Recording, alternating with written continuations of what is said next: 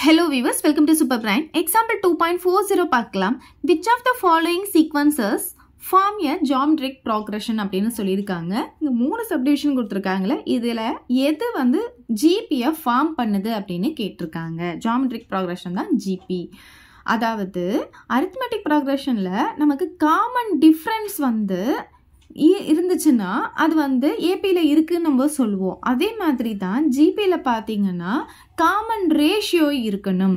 So common ratio எப்படி கண்டுபிடிக்கணும் அப்படின்னு பார்த்தீங்கன்னா இந்த first term T one second term T two T three T four நம்ம எடுத்துப்போம் இல்லையா? ஸோ ரேஷியோ அப்படின்னு சொல்லும் போது நம்ம ஃப்ராக்ஷனில் எழுதணும் பை போட்டு எழுதணும். அதாவது T two by T one போடணும். நம்ம வந்து ஏபியில் வந்து T two minus T one கண்டுபிடிச்சிருப்போம். Difference கண்டுபிடிச்சிருப்போம். இங்கே வந்து நம்ம ரேஷியோ எழுதுறோம். அதாவது ஃப்ராக்ஷன் எழுத போகிறோம் ஸோ அதனால T two by T one கண்டுபிடிக்கணும். இது வந்து டி த்ரீ இல்லையா? T three by T two கண்டுபிடிக்கணும். நெக்ஸ்ட்டு அதுக்கடுத்து பார்த்தீங்கன்னா T four by T three கண்டுபிடிக்கணும். ஸோ இது மூணுமே ஈக்குவலாக இருந்துச்சுன்னா அது வந்து ஜிபியை ஃபார்ம் பண்ணுது அப்படின்னு சொல்லலாம். இப்போ பாருங்க டி டூ எது நமக்கு இது தானே so T two by T one அப்போ fourteen by seven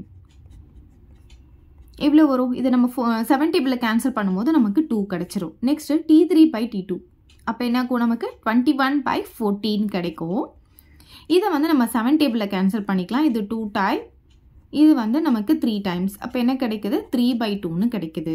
Next T four by T three T four இது தான் டுவெண்ட்டி எயிட்டு டி த்ரீ வந்து twenty one so twenty eight by twenty one இது பார்த்தீங்கன்னா செவன் டேபிளில் நமக்கு கேன்சல் ஆகும். Seven டேபிளில் இது த்ரீ டைம்ஸ் வரும். இது ஃபோர் டைம்ஸ் வந்துடும் அப்போ ஃபோர் பை த்ரீன்னு நமக்கு கிடைக்கிது. இப்போ பாருங்கள் இதுதான் நம்மளுடைய ரேஷியோஸ் ஓகே ஸோ இப்போ இங்கே பாருங்கள் இங்கே டூ வந்திருக்கு இங்கே த்ரீ பை டூ வந்திருக்கு இங்கே ஃபோர் பை த்ரீ வந்திருக்கு எல்லாமே டிஃப்ரெண்ட்டாக இருக்கிறதுனால கண்டிப்பாக இது ஜிபியை ஃபார்ம் பண்ணாது. மூணுமே ஈக்குவலாக இருந்தால் தான் அது ஜிபியை ஃபார்ம் பண்ணும். நீங்கள் இது ரெண்டு வரைக்கும் கூட கண்டுபிடிச்சிடலாம். ஏன்னா இது ரெண்டுமே நாட் ஈக்குவலாக இருக்கிறதுனால கண்டிப்பாக நமக்கு இது ஜிபியை ஃபார்ம் பண்ணாது. நம்ம இப்படியே கூட ஸ்டாப் பண்ணிக்கலாம். இது போடணும்னு கூட அவசியம் கிடையாது.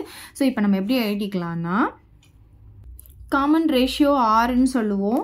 T two by T one not equal to T three by T two not equal to T four by T three மூணுமே நமக்கு வேறு வேறு வந்திருக்கு. அதனால் நாட் ஈக்குவல் போட்டுக்கலாம். ஸோ இது எப்படி எழுதிக்கலாம்னா therefore given sequence is not form a GP அப்படின்னு எழுதிக்கலாம். ஜிபின்னா ஜாமெட்ரிக் ப்ராக்ரஷன் அப்படின்னு அர்த்தம். ஓகே இப்போ நெக்ஸ்ட் சப்டிவிஷன் பார்க்கலாம். One by two comma one comma two comma ஃபோர்னு கொடுத்துருக்காங்க. இதில் டி ஒன் பார்த்தீங்கன்னா இது டி டூ இது டி த்ரீ இது டி ஃபோர் இப்போ நம்ம ஃபஸ்ட்டு என்ன கண்டுபிடிக்கணும் T two by T one கண்டுபிடிக்கணும். அதுக்கப்புறம் T three by T two கண்டுபிடிக்கணும். அப்புறம் T four by T three கண்டுபிடிக்கணும். ஓகே இப்போ பாருங்கள் டி டூ என்ன வந்திருக்கு நமக்கு இங்கே? ஒன்று பை டி ஒன் பார்த்தீங்கன்னா one by two next T three பார்த்தீங்கன்னா டூ டி டூ பார்த்தீங்கன்னா ஒன் இப்போ two by one next T four வந்து ஃபோரு டி த்ரீ வந்து டூ ஃபோர் பை டூ சரி இப்போ பாருங்கள் இந்த டினாமினேட்டரில் இருக்க டூ வந்து நமக்கு நியூமரேட்டரில் போயிடும். அப்போ என்ன ஆகும்னா ஒன் இன்ட்டு டூ டூன்னு கிடைக்கும். பை ஒன்னுன்னு இருக்குது அது நம்ம போடணும்னு அவசியம் கிடையாது. அப்போ டூன்னு கிடச்சிரும். நெக்ஸ்ட் அதே மாதிரி தான் இங்கேயும் டூ பை ஒன் இருக்குது டூ பை ஒன்னுன்னா டூ தான் நமக்கு. இங்கே பாருங்கள் இதை நம்ம கேன்சல் பண்ணிக்கலாம். இது ஒன் டைம் இதை டூ டைம்ஸ் கேன்சல் பண்ணிக்கலாம். இங்கேயும் நமக்கு டூ தான் கிடைக்குது. அப்போ மூணுமே நமக்கு எப்படி வந்திருக்கு? ஈக்குவலாக வந்திருக்கு. அப்போ காமன் ரேஷியோ தான் ஆறுன்னு சொல்லுவோம். R equal to T two by T one equal to T three by T two equal to T four by T three எல்லாமே ஈக்குவலாக இருக்கிறதுனால therefore given sequence is form a GP அப்படின்னு எழுதிக்கலாம். Next subdivision பார்க்கலாம். இப்போ third subdivision பார்க்கலாம். இப்போ இதில் பாருங்கள் T two by T one கண்டுபிடிக்கணும். அப்புறம் T three by T two கண்டுபிடிக்கணும். அப்புறம் T four by T three கண்டுபிடிக்கணும். என்னெல்லாம் கொடுத்துருக்காங்களோ எல்லாமே நீங்கள் கண்டுபிடிச்சிருங்க. இப்போ டி டூ பார்த்தீங்கன்னா நமக்கு டுவெண்ட்டி ஃபைவ் டி ஒன் பார்த்திங்கன்னா ஃபைவ் அதே மாதிரி டி த்ரீ வந்து ஃபிஃப்டி டி டூ வந்து twenty five next T four வந்து செவன்ட்டி ஃபைவ் டி த்ரீ பார்த்தீங்கன்னா ஃபிஃப்டி ஸோ இது ஃபைவ் டேபிளில் கேன்சல் பண்ணிக்கலாம். இது ஒன் டைம் இது ஃபைவ் டைம்ஸ் அப்போ ஃபைவ் பை ஒன்னுனா ஃபைவ்னு நமக்கு கிடச்சிருது.